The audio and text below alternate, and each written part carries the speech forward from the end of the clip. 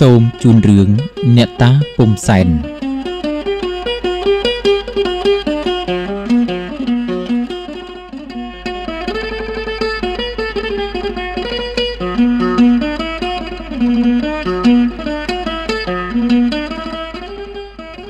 ៅភូមិសូសែនសង្កាត់សូសែនស្រុកព្រៃឈរខេត្តកំពង់ចាម មាន អ្នកតាមួយគេហៅថា អ្នកតាពុំសែន មានរឿងរ៉ាវតាក់ទងនឹងអ្នកតានោះដូចតទៅ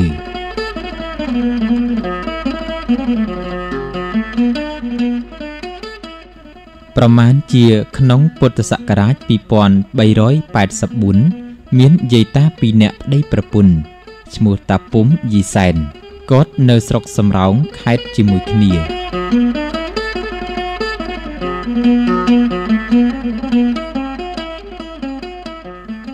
ទាំងពីរនាក់បបួលគ្នាទៅរកភូមិថ្មីមួយ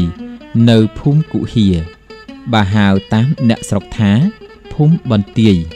គាត់បានបោះគោលជាចរិកវាទីភូមិប្រមាណជា2ហិកតា4ជ្រុងស្មើ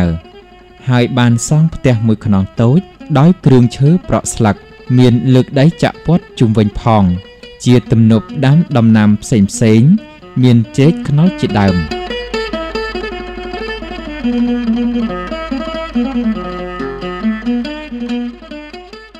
នៅខាងកើតភូមិគាត់ចម្ងាយប្រហែល200ម៉ែត្រមានដើមពោធិ៍មួយដើម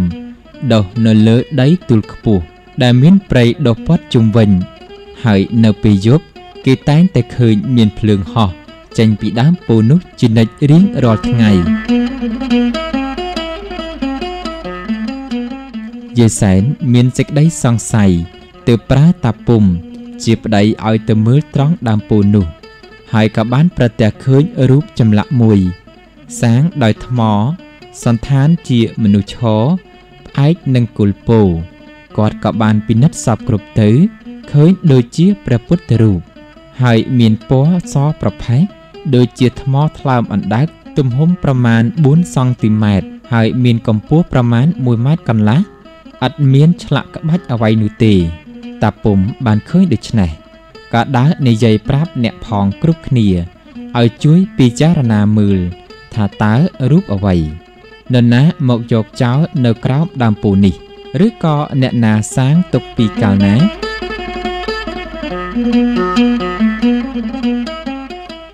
កាលអ្នកស្រុកមិនដឹងគ្រប់គ្នាហើយ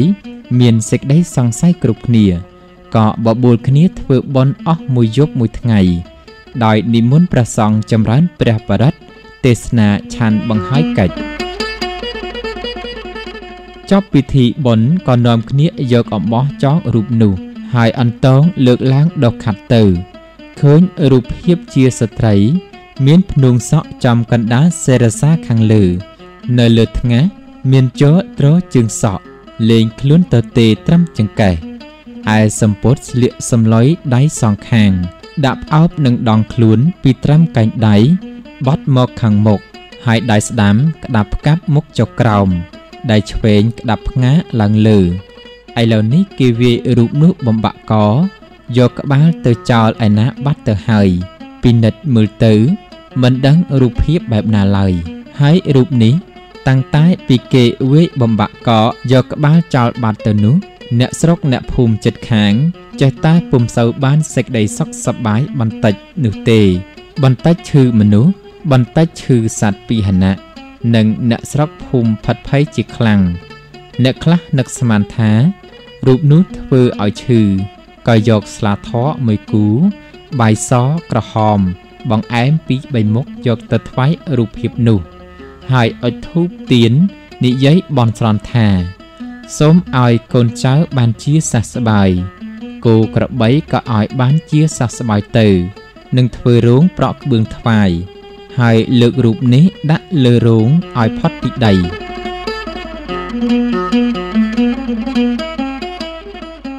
ការបន់ស្រន់រួចត្រឡប់មកផ្ទះវិញ ជំងឺទាំងប៉ុន្មានក៏បានជាស្រាក់ស្រានដូចប្រាថ្នារួចក៏ទៅធ្វើរោងតាមបំណន់ ដែលខ្លួនបានបន់នោះ មានស្លាធរមួយគូ ទឹកអប់មួយគូ ផ្កាមួយគូទៀន5ធូប5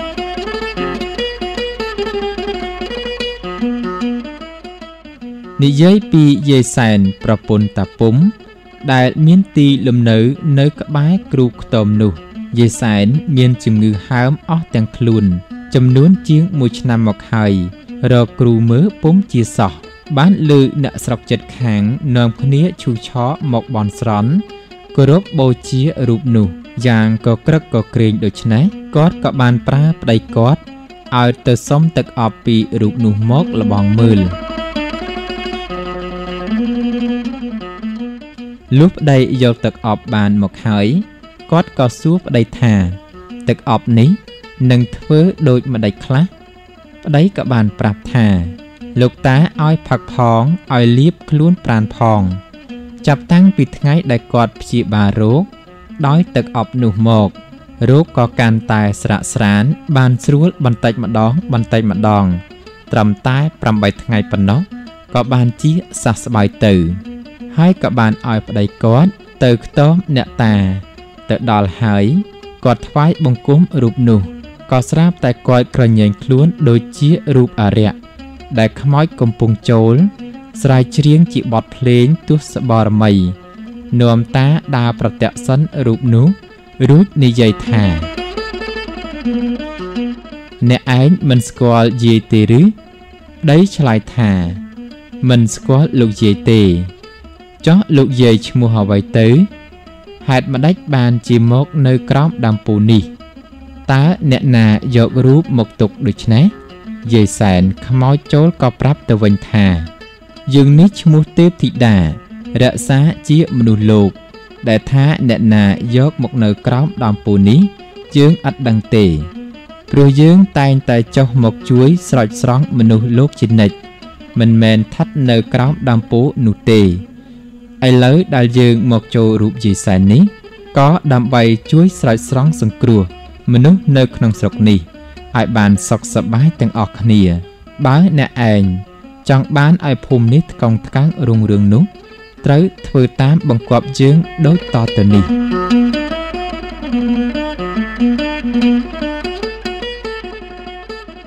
កាលបើយាយសែនថ្លែងប្រាប់រួចហើយតាពុំក៏ធ្វើតាមបង្គាប់ គឺឲ្យធ្វើស្លាធកមួយគូ ទឹកអប់មួយគូ បាយសីមួយគូលាជបារី ផ្កាមួយគូមួយគូ ទៀន5ធូប5រួចហើយឲ្យលេងភ្លេងខ្មែរបញ្ជន់រូបយេសែនថែមទៀត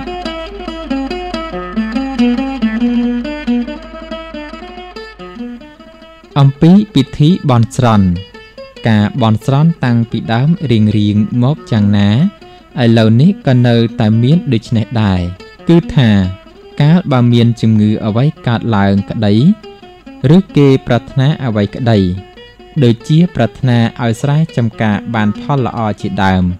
គេតែងទៅបន់ស្រន់សុំទឹកអប់ហើយបួងសួងតាមបំណងដែលគេប្រាថ្នា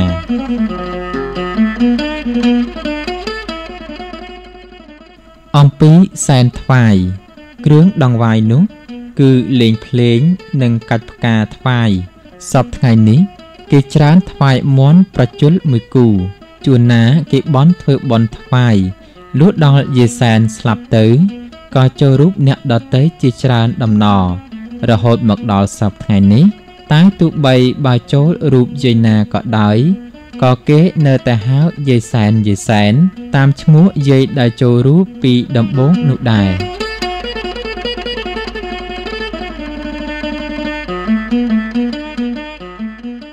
អំពីបន់លេងភ្លេង ពិធីបញ្ជាន់រូបយាយសែននោះ មានរបៀបបន់ស្រន់សែនថ្វាយដូចរៀបរាប់ខាងលើគ្រប់អស់ហើយឯភ្លេងតែមួយគឺភ្លេងទស្សបរមីមានទំនុកច្រៀងថា សូមថ្វាយបង្គំសម្ដេចបារមី មានរិទ្ធីក្រាក្រៃអំណាចជាក់ស្ដែង មិនដឹងទេឬឈ្មោះទេពធីតាចុះមករក្សាមនុស្សលោកសពថ្ងៃ អញ្ជើញគ្រូតូចអញ្ជើញគ្រូធំស្ថិតនៅលើកំពូលភ្នំចុះមកស្ថានអាយនាងស្រីសែនស្រណោះអណ្ដាតជាភ្លើង ក្រលួចឆេះឡើងបង្ក្រាបបិសាចរឿងរ៉ាវទាំងនេះគេបាននិយាយតតគ្នាមកថា ជាយូរអង្វែងឆ្នាំមកហើយ លោកគ្រូម៉ៅរិតវត្តសោសែងសង្កាត់សោសែងស្រុកព្រៃឈរខេត្តកំពង់ចាម ជាអ្នកដឹងរឿងទាំងអស់នេះ។